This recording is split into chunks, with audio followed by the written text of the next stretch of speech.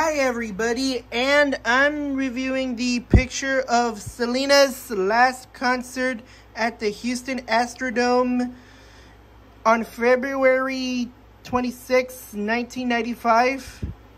Yeah, I got it from the market in Harlingen, Texas.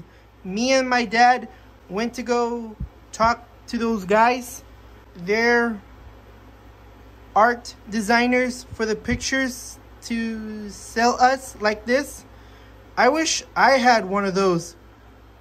We could print out my favorite photos of me, but I ran out of ink. That's why. But we'll see, okay? Let's see what we can get, okay? Now, it comes with this one. That way, the dusty won't get to my pictures. If it's trash, right folks? Okay, they call it paper photos. Yeah, that's Selena, right? We went to go to the store and look at some paper photos that they have it.